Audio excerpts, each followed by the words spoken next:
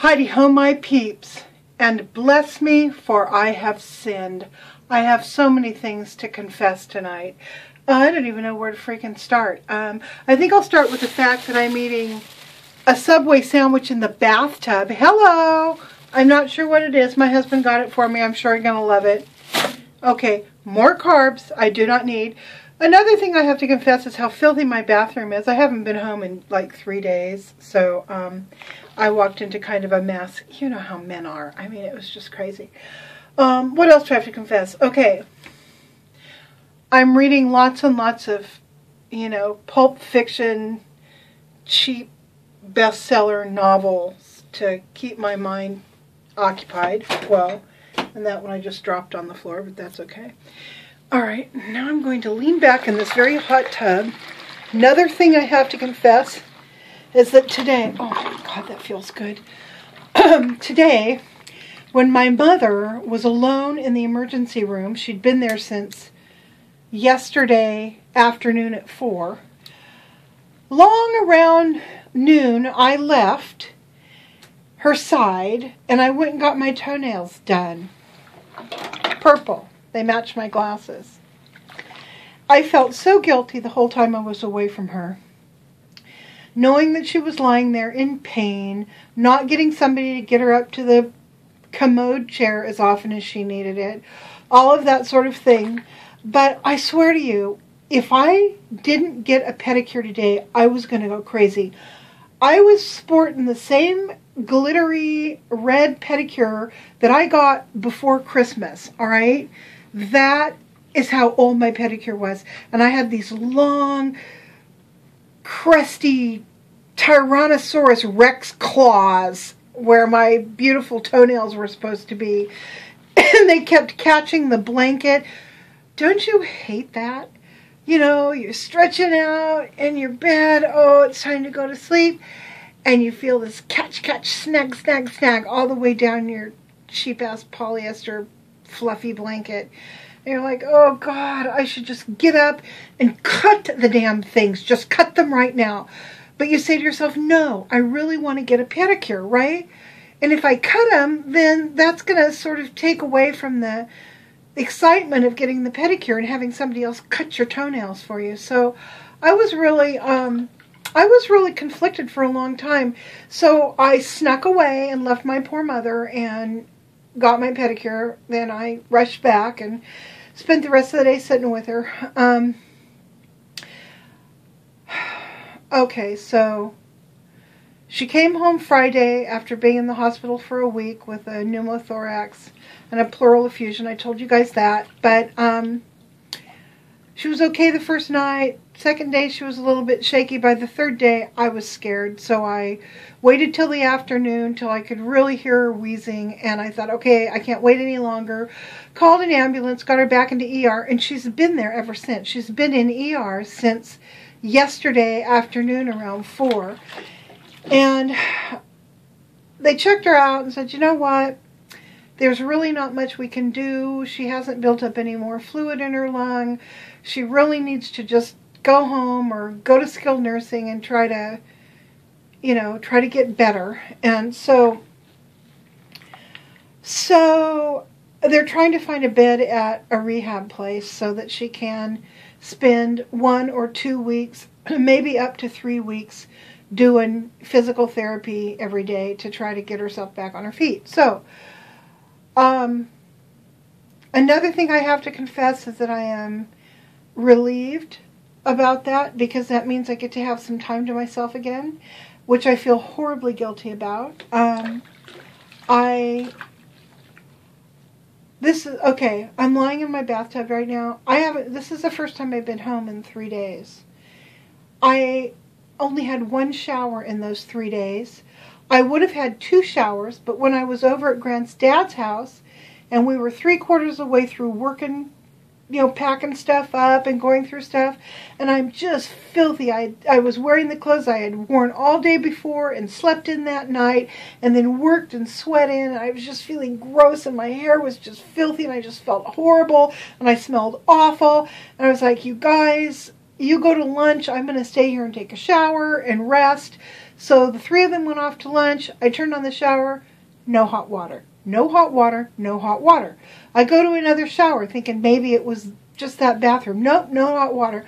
Turns out they forgot to turn on the hot water. So I didn't get a shower. I had to put my stinky clothes back on. It was just, I, of course, I kind of swabbed myself down, but that's not the same thing as a shower or clean clothes. So I, I didn't. I was denied my shower. Then I went home, went back to my mom's, and I was up with her most of the night. Still didn't get a shower. Next day I had to run and go do something. Still didn't get a shower. Then I had to take her to the emergency room. Still didn't get a shower. Um, so I cannot tell you how good it feels to be in this bathtub right now. I mean, I just can loll around in here all night. Just keep putting hot water in, letting the cool water back out, and just, just flop around as happy as a mermaid in the ocean. So, um, my confessions tonight are confessions of guilt, feeling guilty. Um, my mom is so frightened by being sick because she can't remember why she's sick.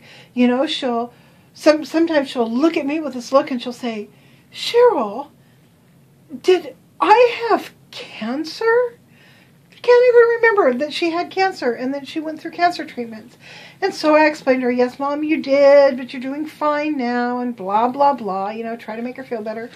Um, she'll, she'll look at me and she'll say, I'm so sick. I'm dying.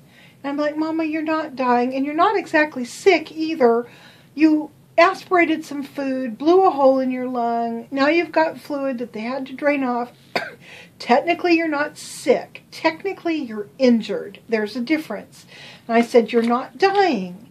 Your vitals are great. Your heart's fine. There's nothing wrong with your kidneys. You're doing fine. You just need to recover from this injury that you had. And that doesn't, I mean, that rattles around in her head a little bit, but it doesn't really make sense because in her mind, pain plus hospital equals death. That's that's what she knows about pain and hospitals.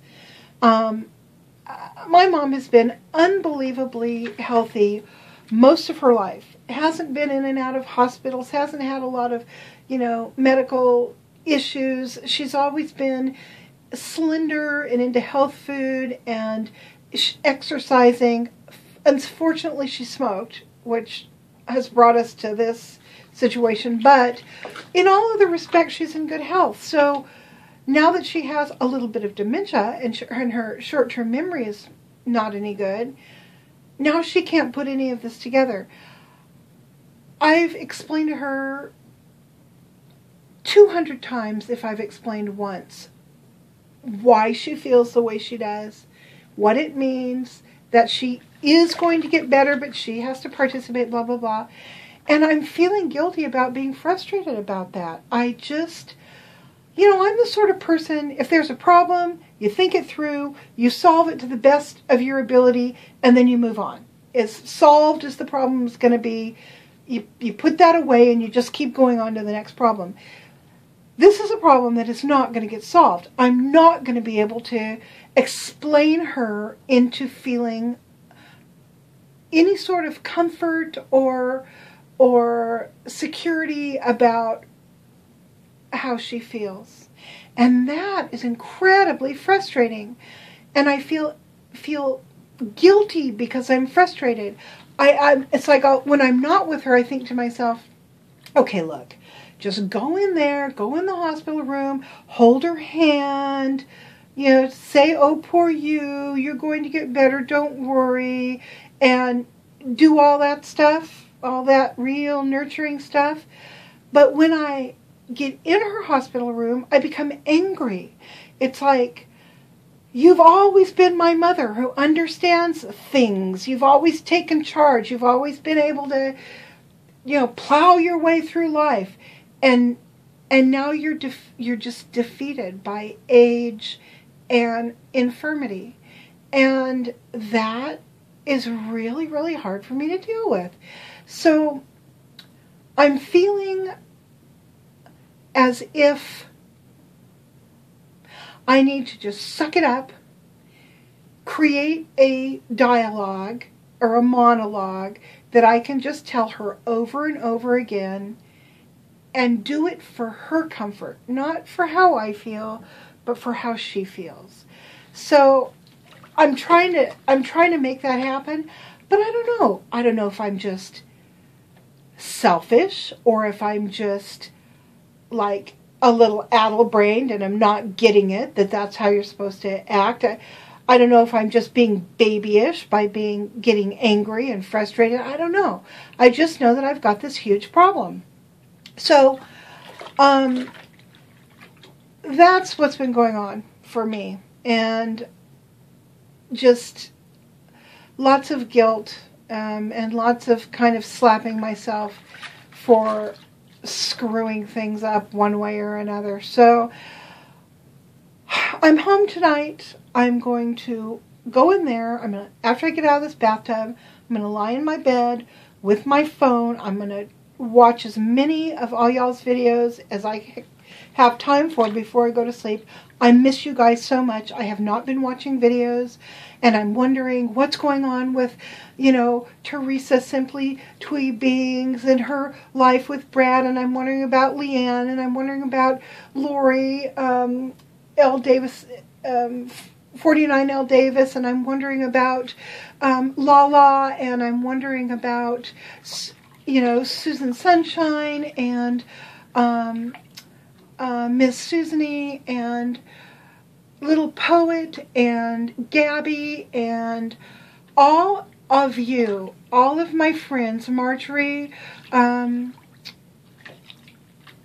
Rose, the marvelous artist who I've been following, and my friend Stacy Nicole, Derry Carpenter. I'm wondering about my friend Brenda, and you know, every one of you who, um, Renee, um, all of you, um, Uma, I mean, all of you people who I love so much, and the ones that I didn't name who just didn't come to my head uh, automatically, um, I'm I'm really missing you guys, and I'm missing my little peeks into your lives, and I'm missing my feelings of connection with you. So, I really, really, really need to watch videos and you know, um, uh, Stephanie Soft Pink Stardust, um, Stephanie um, Couponing Girl. I mean, I could just rattle, Sue Pete. I mean, I could just rattle, rattle, rattle, rattle names off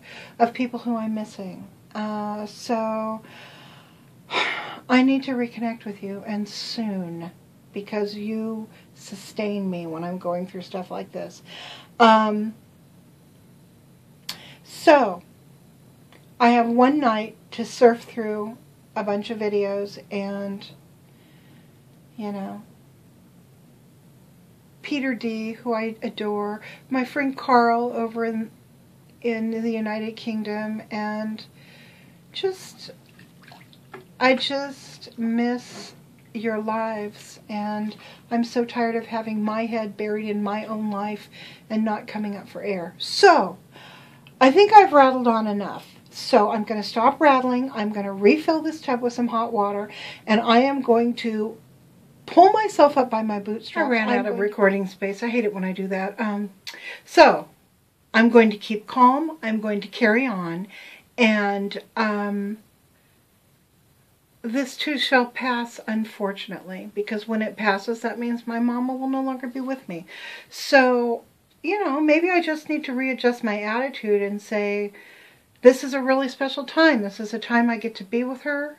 I get to hold her hand. I get to console her the way she consoled me. So, you know, may, maybe I, what I need to do is just adjust my attitude. So that is what I'm going to try. And I will, um, I'm going to go watch as many of you as I can tonight. And I will check in again later when I have something else to talk about. Bye.